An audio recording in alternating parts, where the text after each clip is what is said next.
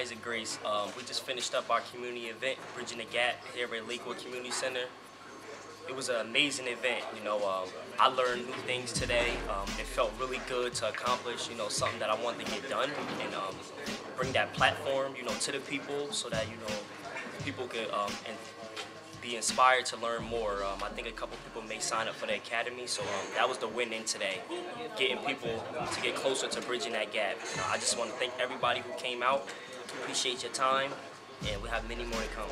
Uh, my name is Ricardo Barreto uh, from Parsippany, New Jersey. I just came here to Issac Grace and uh, Jay Morrison's uh, seminar that they had here in Lakewood. Uh, my testimonial, or what I walked away from today, was um, that we must continue forward. Uh, we can't waste time. There's a sense of urgency for us to uh, build that um, wealth gap uh, between ourselves and everybody else. Um, and, um, you know, just can't stop. And that's what I walk away with today. Um, and I hope that everyone gets the message. Everyone here got the message, and uh, they can use it uh, for themselves and their, their loved ones, um, because we have no time to waste. Um, and I mean, I would recommend anybody to you know watch Jay Morrison's. Um, his, his YouTube videos, go on, uh, follow him on Facebook, uh, and read what he's about because um, he's doing something positive not just for himself, but for all of us. And, um, you know, it, it's for the better. And, uh, yeah, that's it. So we're gonna go into these facts. And um, so the first one, wealth. The median income of African American households is 34,600, nearly 24,000 less than the median income of white households. A typical black household has accumulated less than one-tenth of the wealth of a typical white one. Over the past 25 years, the wealth gap between blacks and whites has nearly tripled. Tripled. The median income for black households is less than 60% of that of white ones. More than one, more than one in four blacks live in poverty, poverty, while fewer than one in 10 whites do A little bit of facts on home ownership. The black home ownership rate in 2012 is no different from what it was in 1976. That's sad. Sad. The median net worth of a white household is 13 times the level for black households. Incarceration stats. According to the Bureau of Justice Statistics, black men were more than six times as likely as white men to be incarcerated in 2010. In 2010, the incarceration rate for white women was 91 per 100,000 white residents. For black women, it was 260 per 100,000.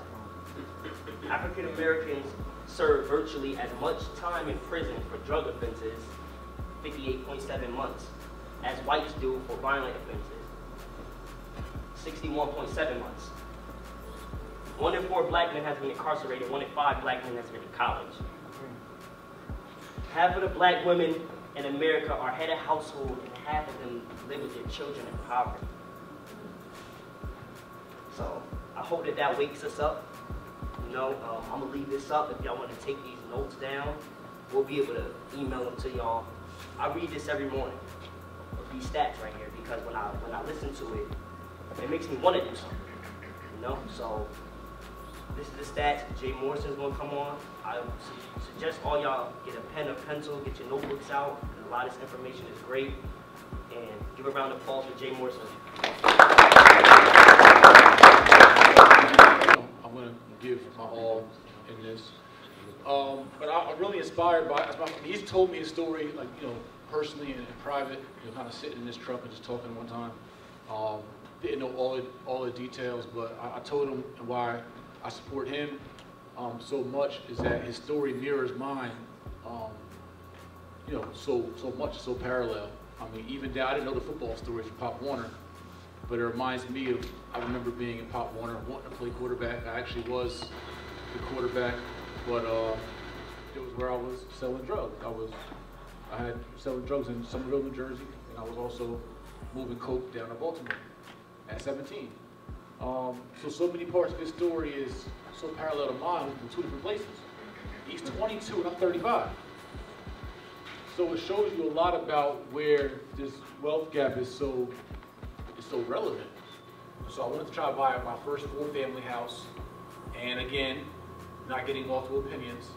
Um, as I'm getting my inspection for this four-family house, right, it's four units, they're all Section 8. I'll be bringing in like 3,200 a month in cash flow uh, in Irvington, New Jersey. Um, I'm getting my inspection, and the inspector says that there's a, a bent joist beam in the basement, right? The house is leaning, the joist beam was bent. And so the realtor I had said, oh, you don't want to buy this house because, you know, it's a foundational issue. And so I canceled that deal. Um, come to find out, later on, I would learn that if if there is a situation, or when there is a situation that a, a beam is bent in the basement, you simply go to Home Depot and pay like 300 bucks and get a jacket, and you can just jack it up. And so I lost out on that deal, and that same house that I was going to buy, that four family, that I was going to buy for 189,000, ended up selling for like 305 a couple years later. But me listening to the opinion of just one realtor, what he was talking about. So that deflated me, right? I was gonna buy that crib, I couldn't buy it, I back to the street, started hustling again, right? So I'm like 22, 23 at the time, and I would continue to sell drugs again, um, just going through the wringer, just just hustling, um, until 25. I would catch another close call where, again, so every time I would go to prison or be out of the game, would think, well, how can I perfect my, my hustle, right? How can I sell drugs without getting caught? That's the, every drug dealer's goal. It's like, how do you sell drugs without getting caught? Is that a lot of times we get in our own way and we make excuses for ourselves as to why we can't, why we can't, instead of how can we. It should always be how can I. It should never be I can. It should be how can I, what can I do? And so there's ways to build your credit, ways to restore your credit if it's messed up. It's like all those things have these components. If you don't so here's some, here's some tips on homeownership in general. Because once you start with homeownership, what it allows you to do, that one asset, that one property, you then can use that property over time and the equity from that property to go buy other properties. Or to refinance and pull tax-free money out and start your own business or whatever the case is, just one house. And so our tips for just even buying your first house is one, for those of you, maybe you don't have a job or you don't make enough money or whatever the case is, is that on majority of loans, you can have more than one co-borrower. You have multiple co-borrowers. And now, imagine what you're passing to your daughter or your son 20 years from now, 15 years from now, 10 years from now. If you got three properties that are building value over time, you got 70,000 equity in this one, 120,000 equity in this one, 30,000 equity in this one. You start to build real well. But um, by show of hands, who here lives somewhere? Not true, Queen? Everybody lives somewhere. You, got, you got to live somewhere, you might as well live somewhere in which you own.